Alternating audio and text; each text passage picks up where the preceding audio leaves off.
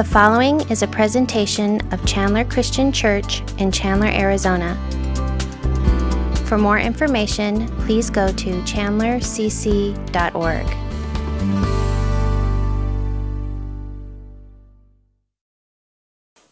All right, we're talking today about uh, Wi Fi, uh, tuning in to hearing God speak. One of the most important concepts in the entire Bible is the fact that God speaks to us. You know, it says all through scriptures, if you turn the pages, it says, and God said this, and God said that. He speaks to people. And the reason He does that is because He created us in the beginning to have a relationship with Him. He didn't just create us and say, hey, good luck, meet you on the other side.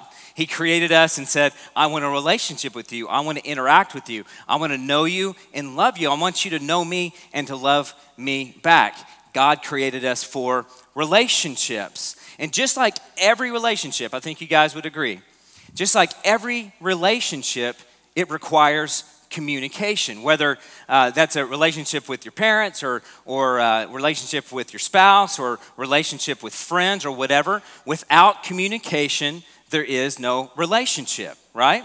Without communication, there's no relationship. How many guys realize that even in the best relationships, uh, communication can be tough? Yeah, communication is a, a, a, tough thing. I was talking to uh, some friends of ours uh, about a month ago, and they were uh, six, seven months pregnant. She is, and uh, she's telling us about how she was feeling really bad that week, and she called her doctor, and her doctor said, you know, maybe we shouldn't play around with this, take any chances. I'm going to go ahead and send you to the hospital. And so, six, seven months pregnant, she goes to the hospital, where her husband is in a really important meeting at work. So she calls him at work and said, Hun, I'm going to the hospital. To which he says, I'm really busy right now in this meeting. I've got to go. And he hangs up. Now, have you guys been pregnant before, ladies? Would you put up with that? Yeah. And so um, she takes herself to the hospital. Okay? So later on in the day, after he's done with his meetings, uh, she calls her, and, and, or he calls he calls her. By the way, um, she was okay. Hospital sent her home, said bed rest. Uh, she's good. But he calls her from work after the meetings are over and says, Hey, hon, I'm just checking in, see how your day's going. And she's like, Are you kidding me? I almost didn't even take this call. I am so mad at you. I just came from the hospital. And he's like, What? You came from the hospital? Yeah, I called you and said, I'm going to the hospital. And he said, I thought you said, I'm going to Costco. And I was thinking, why in the world are you calling me in the middle of this important meeting to say Costco? That's kind of important information, right? And she got over that and let him back in the house about a week and a half later uh, on that. But communication's tough. And the problem is it could be misunderstood. Um, you know, sometimes it's hard. Now, would you guys agree that if communicating with another human being who's right in front of you, or communicating with somebody who's on the phone, you can hear their voice, if that's a tough thing and we can mess that up, don't you think it's easy to mess up communication with God? When God's trying to speak to us and we don't necessarily see Him right in front of us, He doesn't call us up on the phone, that can be easily messed up too.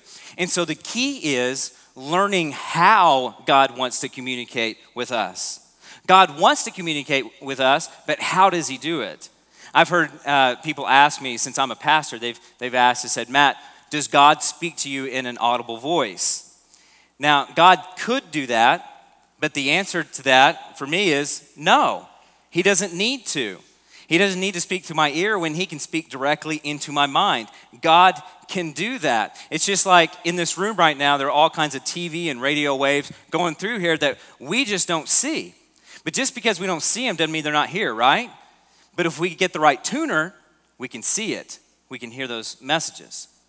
The key to communicating with God is learning to tune in to how God wants to speak to us. So, this weekend, we're going to talk about how it is that God wants to speak to us. Now, before I get into the how, I want to first stop and talk about why it's important that God wants to speak to us. Why is this so vital? Why is this so important? I'm going to give you three quick reasons, okay? Three quick reasons why it's so important that God speaks to us. Number one, why we hear from God. number one, it's important to hear from God because it protects me, or I'm sorry, it proves I'm in God's family. It proves I'm in God's family. It verifies that I'm a believer. It confirms my relationship with God. That's what Jesus was saying to his disciples when he said in John 10 27 and 28, he said, My sheep listen to my voice. My sheep listen to my voice. I know them and they follow me. I give them eternal life and they shall never perish. No one can snatch them out of my hand. What he's saying there is, My sheep know my voice. I know them and they're able to follow me because they hear me. Now, in that, he talks about that he's the gate. And the only way to get into a relationship with God is to go through the gate that is Jesus Christ. There's no other way in. And so the first idea of hearing from God is to know Him through a relationship with Jesus Christ. That's how we hear from Him. And once we do that, it proves that I am a, a believer. It proves I'm in His family. Now, I could say up here right now that I know Larry Fitzgerald, right? I could say, I know, I know Larry Fitzgerald. And, and I, I, really don't. But I mean, you, you could say, well, what do you mean? I could say, well, I write him all the time. You might ask, well, does he write you back? Well, no, he didn't write me back, but, you know, I write him. I call him all the time, too. Does he call you back? Well, no, he hadn't called me back yet, but, but I call him all the time. Have you ever had a conversation with Larry Fitzgerald? Well, no, we've never talked. And you might say, Matt, you may be a fan of Larry Fitzgerald, perhaps even a stalker of Larry Fitzgerald, but you do not know Larry Fitzgerald. And I think there are a lot of people who are fans of God, but they don't know God personally because they don't hear from Him. They don't hear His voice. They don't know Him through a relationship with Jesus Christ. So, first of all, it proves I'm in His family. Second of all, it protects me from mistakes, mistakes that, that cost me dearly. I want you to finish this sentence for me, okay? If I knew then what I know what? Now. If I knew then what I know now. How many of you guys have thought that or, or some form of that or said that? You know, we wish we could go back and, and have the information that we have now so that we could prevent ourselves from making major mistakes. And they say experience is the best teacher, right? Well, I beg to differ. Experience is a great teacher, but the best teacher is God's word and God's wisdom because He says, I want you to listen to me. I want you to hear from me because I'm going to protect you from many of those mistakes. You know, Pastor Roger um, encouraged us all to read through the book of Proverbs, one chapter a week. And the book of Proverbs is chock full of wisdom from God preventing terrible mistakes on our behalf. We don't have to experience all the pain of some of the choices we make to know that they're bad choices. We can learn from God that they're bad choices. He says in Proverbs 2:11, this is from the reading uh, this week, discretion will protect you, and understanding will guard you. So sometimes, you know, God is trying to prevent me from a mistake. You know, He simply says, "Don't," or "Stop," or "Apologize." That's usually with my wife. But He says different things to us, right? And that's God's word trying to protect us from mistakes. Third, it leads me to life's true blessings. Hearing God's voice, listening to Him, leads me to life's true blessings.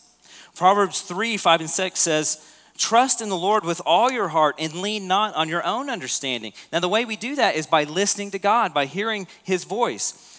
In all your ways, acknowledge Him, and He will make your paths straight. Now, that phrase makes your path straight. That means that God is going to lead you straight to what's truly blessings in life, what life's true blessings are. And that is through a relationship with Jesus Christ.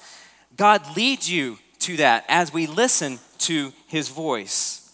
And so hearing from him is vital.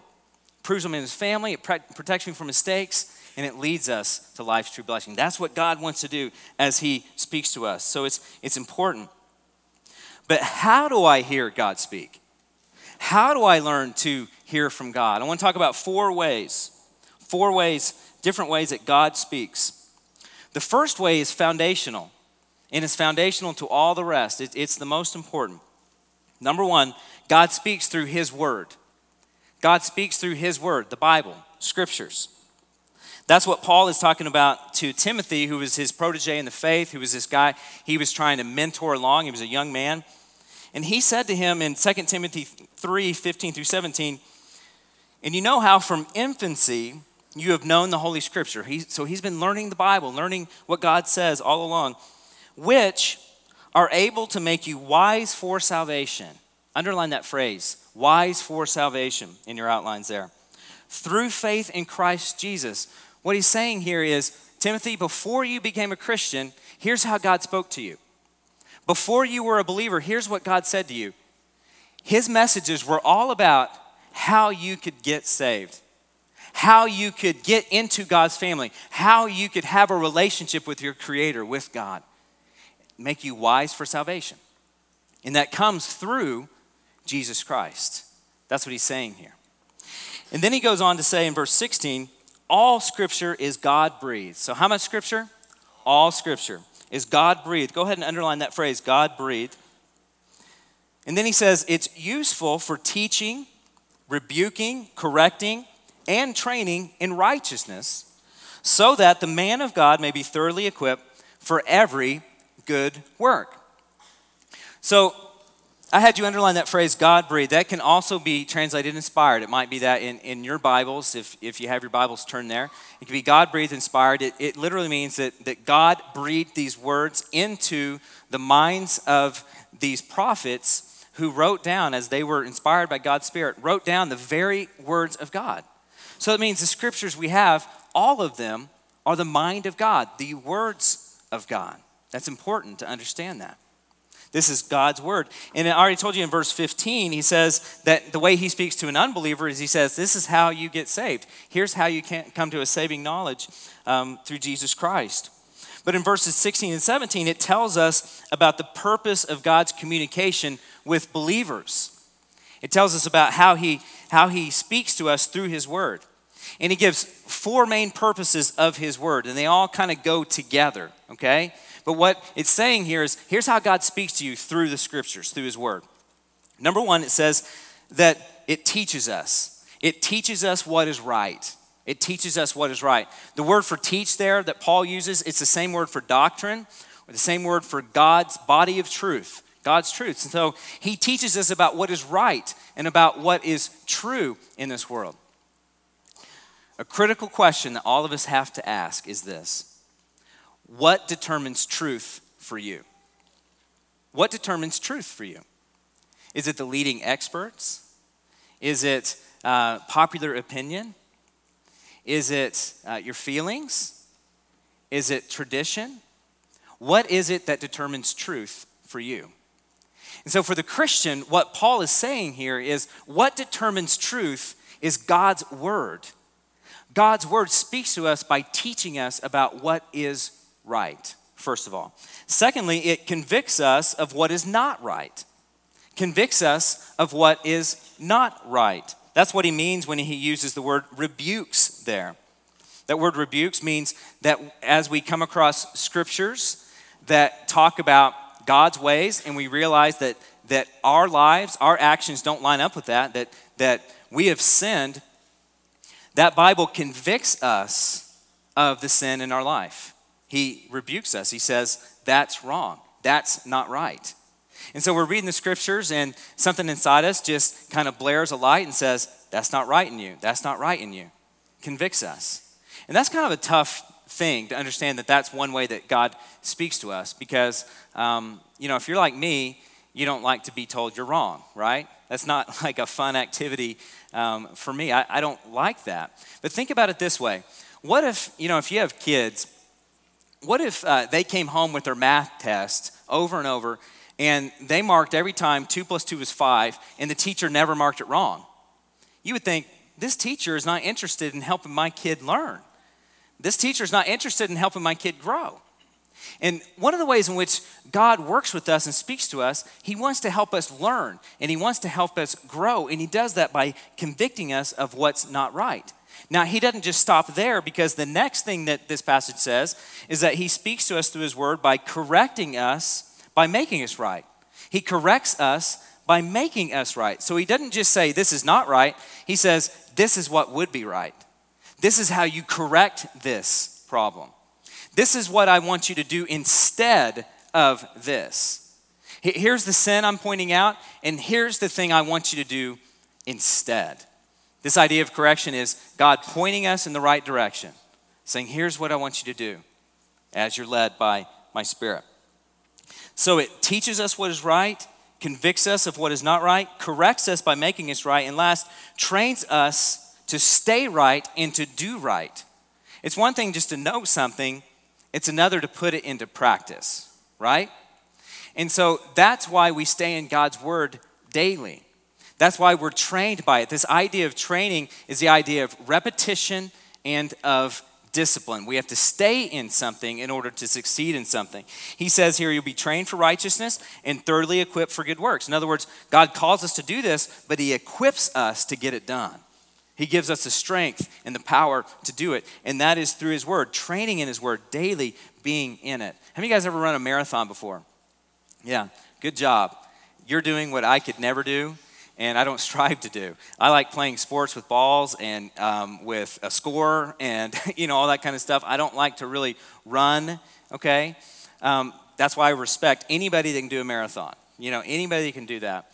Now, what would happen uh, you guys that have run one before, if I went out and tried to run a marathon today without training for it, yeah, I'd make it as far as Dunkin' Donuts, right? Where I'd sit down and, you know, coffee and a donut, and we're done, okay? And a lot of us are trying to do, you know, God's good works without training in His Word. And so that's why it's important to have a Bible reading plan. You know, I mentioned Pastor Roger encouraged us all to, to read a proverb a day that lines up with the day of the week. So today would be Proverbs 7, right? Because there's 31 Proverbs. And if you've been doing that, you understand how it's so important to train in His Word. Uh, if you don't do that, maybe you could find a Bible reading plan on youversion.com. It's Y-O-U version.com, chandlercc.org. If you go there, all kinds of Bible reading plans there, but stay in His Word. How many of you guys know who uh, Vince Lombardi is? How many of you guys know um, he's a legendary coach of the Green Bay Packers? Now, let me say um, first off that I'm not a Packers fan. We had a guy in the last service that just moved here from Chicago, and he was like, hey, man, what's up with the Packers thing? Um, let me just say, I'm a Cowboys fan, so it pains me a little bit to uh, talk about the, uh, the Packers. All right? What? Come up here and say that. No, I'm just kidding. Just kidding. I've got the football, all right? Vince Lombardi, legendary coach of the Green Bay Packers, before the season started, every single season, preseason speech, this is what he'd say. Whether he had a veteran team that just won the Super Bowl or all rookies or whatever, he'd stand before him and he'd hold up the football like this and he'd say, Men, this is a football. Learn how it feels, learn how to catch it. Learn how to throw it. Learn how it bounces. Learn how to recover it once it bounces. Learn how to hold on to it so you don't turn it over.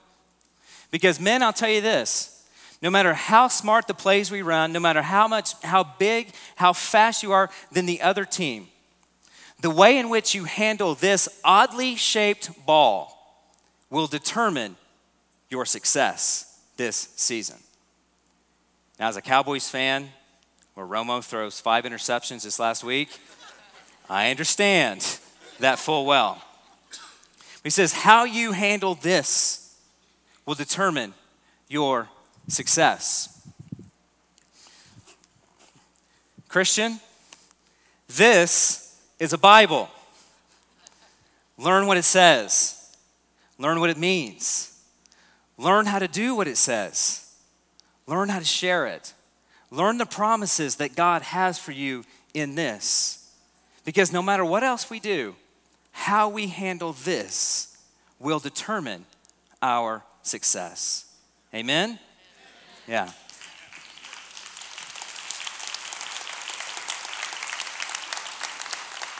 You guys thought I was going to pull a Joel Osteen on you, didn't you? All right. God speaks through his word. Secondly, God speaks through believers. God speaks through believers. Uh, how many of you guys have ever been in church and thought, God is speaking directly to me today? Guess what? He was. he was.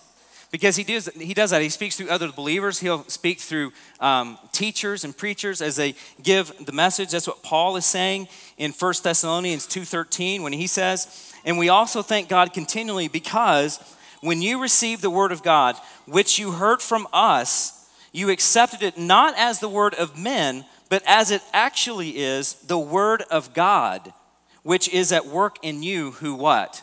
Believe. And what he's saying here is that as uh, teachers and, and, preachers of the Word of God, as they as they give that message, that is God's word. And, and, and sometimes I don't think I take that seriously enough. I, I, you know, sometimes you, you come in and you're like judging the guy by, you know, how, how well they're speaking and, and things like that. And I know I am guilty of that. And I know for me, I do a lot better when I come in and, and I just say, God, what do you want to say to me today? I say that to myself. What do you want to say to me today? And no matter what, it opens up if they're in the scriptures preaching God's word to me. I hear from God. That's why I don't like to miss church. Now, you might be saying, Matt, that's pretty self serving since you're up giving the message today. And I will tell you that it's a scary concept to think that you're going to get up and what you're saying is supposed to be uh, God's word for people. Before it becomes this big deal and this, this, this great big deal, which I'm not saying it's not, but before it seems too special, just remember in the Old Testament, God used a donkey to speak through. I'm pretty sure he can speak through us. You might be saying, well, he's even doing that now. And uh, we'll just leave it, leave it at that. But God speaks through believers. And you want to hear something else? God, only, God not only speaks through teachers and who's given the message, he speaks through you. And it's not just when you're leading a group or you're teaching in a class or, or teaching a kids class. It's just through the ordinary fellowship that believers have with one another. He can speak through your words. That can be what somebody needed to hear, God's word for them that day. That's what Paul is saying in Ephesians 4.15 when he says, instead, speaking the truth in love. And, and what he's saying here is, you guys, as you fellowship together, what I want you to do is I want you to speak the truth and do it in a loving way to each other. And as you do that, he says, we will in all things grow up into him who is the head, that is Christ. You, you grow up and start looking at like Christ as you fellowship and believers speak to one another. So God doesn't want to just speak to us on an island, you know, we hear from him and, and move on with our life alone. He wants us to be in the context of relationships with one another, which is why fellowship is so important because he speaks through you, he speaks to you through other believers. Now, he's done that a lot in my life through, you know, growing up. Um, two people that spoke uh, God's word to me a lot were my parents. And I remember a time when I was a sophomore in college uh, when I came home. How many of you guys ever heard of sophomore syndrome before? You know, sophomore syndrome's where you've learned all this knowledge and you think that you're smarter than everybody and you're just going to save the world, right? And so I, I came home and I was sharing all this stuff with my dad. You know, I was like, hey, you know, this is what I'm learning about the Bible and all this cool stuff, and, and this is where these people are wrong, but, but we have it right, and, you know, all this kind of stuff. And my dad listened, you know, patiently, as he always does, and then he just said, um, you know, Matt, um, you know, it's really cool that you're learning all that, and I, I think that God's really going to use that, that knowledge he's given you. But don't forget what the Bible also says, that it says, knowledge puffs up, but love builds up. And he said, God's only going to use that stuff as you learn to care for other people with it. Boom. You know, that cut kind of deep. And immediately I knew that was God's word for me. Now, my dad goes to this church, um, you know, and so he'll be sitting in service listening. And sometimes I'll share things about stuff that he's said before, and he'll call me later and goes, Yeah, Matt, I don't remember that. Did that really happen? I say, no, Dad, I just stood there and made stuff up, you know, as, as I'm supposed to be preaching for God, you know. Um, you know, he'll probably say that about that too. And you know what? I think that makes a point about how God speaks through you and I. I think that says that often we don't know. You know, it's not that my dad sat down and, and said, What can I say to Matt today on behalf of God? It's that he just said what was on his heart. And because I have the Holy Spirit and he has the Holy Spirit, he just the Holy Spirit just lit up those words inside my heart and said, That's for you. And I think that's how He does with, with all of us. So, how do you know that it's God's word for you when somebody else is saying it and not, um, you know, something else? Well, a couple guidelines I think are, are needed. Uh, let me share them with you. Number one, what somebody else is saying to you, it needs to line, align with God's written word. It needs to align with God's written word. In other words, God's not going to contradict himself. Something he said in his word isn't going to be different than what somebody else has said. His, his word trumps that because he's already said that. It's, it's in black and white. So if somebody's telling you something that's going to hurt somebody else or, or isn't uh, something that builds up you know, God's kingdom, it's just kind of temporal type of deal, it's not God. You know, he won't contradict himself or forget what he's already said. Secondly, it needs to come from someone who doesn't have any ulterior motives needs to come from someone who doesn't have any ulterior motives. And, and they may not be trying to be manipulative, they just may have something at stake in this and they're not able to be objective about it. And when we're trying to make a decision, we may be confused or in need, and it's easy to, to get manipulated by that. One example is uh, if you're a young couple and talking about if you're going to have uh, kids or not, one person that you might not ask is your mom. I think she's got a pretty good opinion about that already. And you really shouldn't ask her to be objective. That's what grandmas do, they want to have grandkids. And so, my rule, and this is not, necessarily in the Bible, um, but it's not unbiblical either. I think it's just wise. I have a rule of three. I try to ask three people who I know that love God, shown wisdom in their life about certain things, and I just run the scenario by them. And I don't sit down and go, now, be careful what you say here because you're speaking for God. You know, I don't say anything like that. I just say, hey, what do you think about this? Trusting that they're going to run it through the, the filter of what's important and what's godly. And I hear God speak to me in those, in those situations. But God speaks to us through other believers. There's a third way that God speaks to us, and that is that God speaks through impressions as well. Through impressions as well. Now, let me define this really clear, okay? God speaks through impressions which come from His Holy Spirit living inside the believer, which come from His Holy Spirit living inside the believer. He didn't speak through impressions that we see in cloud formations or you know billboards or a country song or you know anything like that okay uh, this is through the impressions that he gives us through his holy spirit living inside the believer some people call this promptings from God. They've called it that before. Some people call this the still small voice of God. Those of you that went through the story remember in the Old Testament, there was the prophet Elijah that God used to, uh, to win this incredible victory over the prophets of Baal. And God brought fire and he defeated all these prophets of Baal. And it was clear that God won. And Elijah, he was on cloud nine. I mean, he was so excited, this mountaintop experience. The only problem was those servants of Baal served the queen as well, Jezebel, and she said, For doing that, Elijah, you're going to die. Put out a hit on him.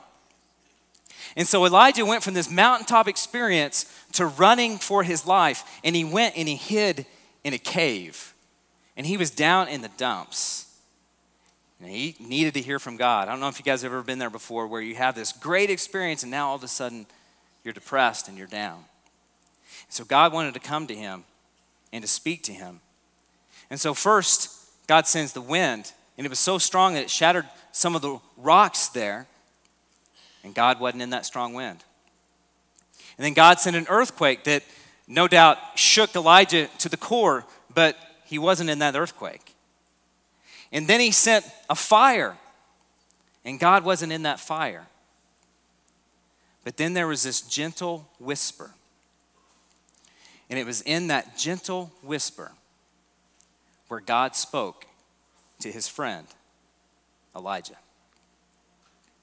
I think oftentimes when we most need to hear from God, we are looking for this incredible event, this incredible experience. And I'm not saying God doesn't do that sometimes, but most often, how God speaks to his friends is through that gentle whisper, that still small voice of His Spirit living inside of you. The only question is will we slow down? Will we stop and draw near so that God can speak to us? Jesus said it this way in John 14 26. When he promised the Holy Spirit, he said, But the counselor, the Holy Spirit, whom the Father will send in my name, will teach you all things and remind you of everything I've said to you. But that's a spirit that's going to live inside you, to, to speak to you inside your spirit. And later, uh, Jesus says this spirit not only comes to teach you and to remind you of what God has said, but also to give you the words to say in the right situation when you need it. And then also to bring you comfort and peace when you're in the middle of a hard circumstance. That's how the Holy Spirit speaks to us. Now, I'll admit that God speaking through impressions is kind of a subjective thing you know, it, it's kind of hard to nail down and, and, and define exactly how it is. And, you know, it's a good question to ask. How do I know that it's God speak to me in my spirit? It's God's impression and not indigestion from the pizza from the night before. You know, that's kind of a tough thing to determine, really tough. Uh, it's so tough, in fact, that I'm going to leave that for Pastor Roger next week. Um, as he gets up and speaks. Matter of fact, he asked me to. That's what his sermon is about next week uh, how God speaks to us through impressions and how we know it's from God and not somewhere else. But God does speak to us in this way through the Holy Spirit. That's the third way. Fourth way is this, the final way. God speaks through painful experiences. Through painful experiences. Anybody here attest to that? Yeah. Painful experiences. Sometimes that's because um, as people, we don't want to change until the pain of not changing is greater than the pain of, of or the pain of, of changing is greater than the pain of not changing. And so if we won't change until we experience pain, guess what God does? He allows us to experience pain. Now, I read a great quote this week. You may have heard it. We don't change when we see the light, we change when we feel the heat. And how true that is. And let me just clarify not all pain and not all loss comes from God. We know that that comes from living in a fallen world, and it's a result of sin and choices. And because God gives us the choice to follow Him or not, sometimes the consequence is great when people don't. But make no mistake, no matter where the pain comes from, where the trial comes from, whether it's from the hand of God in discipline or whether it's a consequence of bad choices, God speaks to us through that pain, no matter where it comes from. C.S. Lewis said it this way God whispers to us in our pleasure, but shouts to us in our pain. So you might be wondering, what is God trying to say to me today? And my question back to you would be, where's the pain? Where's the unanswered prayer? Where is the struggle in your life? Where is it that you're just beating up against that wall over and over? Where are some of the, the broken relationships? Where's that pain? Because likely that's the area where God wants to speak to you. Now you might ask, what is it? How do I know what He wants to say to me through this painful experience? Well, James 1 5 tells us that. He says, If any of you lacks wisdom, he should ask God, who gives generously to all without finding fault, and will be given to him. You want to hear what James is really saying here? Just two verses earlier, the context is about trials. He says, Consider it pure, pure joy, my brothers, when you experience trials of many kinds. And then the very next thing he says, If you lack wisdom, then ask God and he will give you that wisdom. What kind of wisdom? The wisdom to know what God is trying to teach you through this painful trial. It's not just any kind of wisdom, he doesn't tell us why we're going through stuff. God never promises that we'll know why. But He does say that we'll know what it is that He's trying to teach us. Back in uh, 1999, uh, my wife and I lost our apartment in the tornado that swept through Oklahoma City. A lot, I mean, a lot like the, the Joplin thing that happened just recently. We lost absolutely everything. It's kind of a tough deal. And about a month later, one of my friends who was a youth pastor, uh, he asked me this question. He said, Matt, what do you think God is trying to teach you through this? And to be honest, I'll admit, this morning, I, I hadn't even thought about that. You know, I was busy calling the insurance company and doing this and that and just kind of reacting to everything. I'd never thought, what does God want to teach me? And then my first thought on that was, why in the world would God send a tornado to teach me anything? That seems silly. Well, I understand the truth that that was a natural disaster. It was something that happens because we live in a fallen world. But I also learned that I was wrong. God did want to teach us something, to, to speak to us in that. And here's how He spoke to us in it. For one thing, everybody that heard about this, they started just showering us with, with stuff, with gifts, with checks, with, you know, here, we heard you lost everything. Here's this, here's that. Here's, you know, please, please accept this to the point that it got to be too much and we started just sending it on to other places because we just didn't need it. But what I learned through that was that God spoke through other believers, other people, to tell me that He loves me so much and that He's going to take care of me and that He's, he's not going to let us go without what we need. I got that message from God. He spoke that way. The other thing I heard was as I stayed in His Word, and I'll tell you, if you're going through a trial, stay in the Scriptures.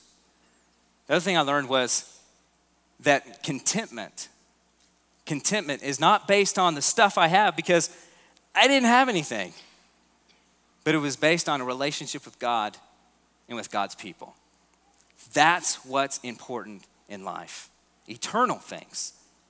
God said that loud and clear.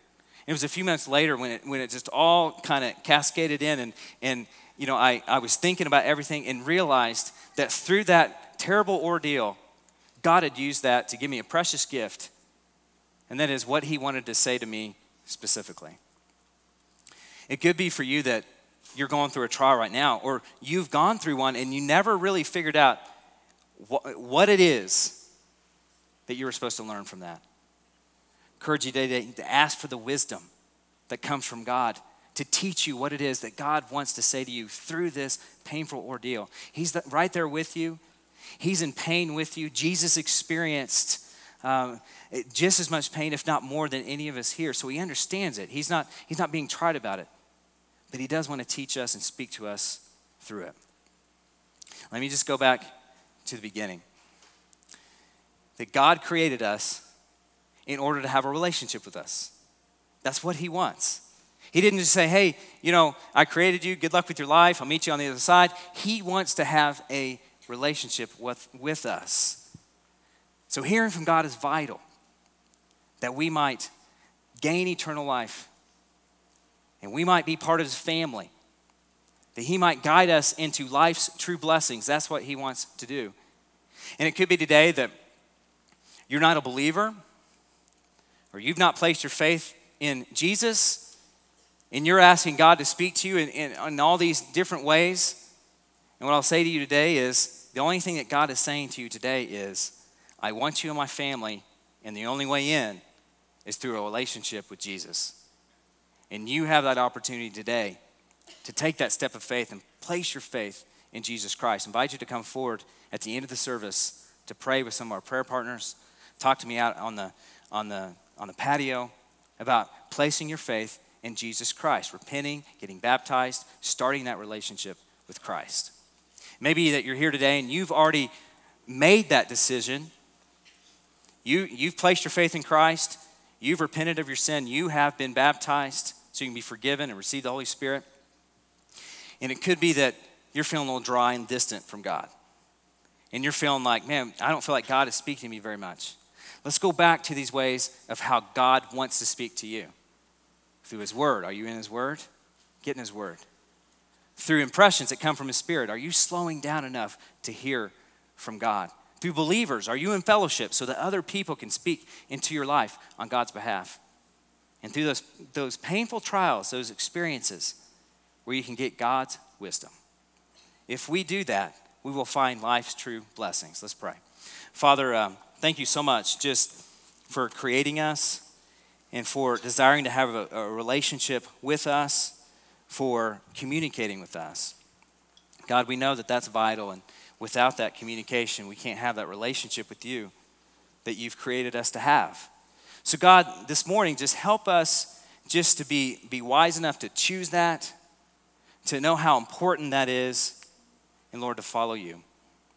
Lord, we love you. And we pray these things in Jesus' name. Amen. The band's going to come and lead us in a song of commitment here, but I ask you to stand and just to sing and consider what it is that God is saying to you today.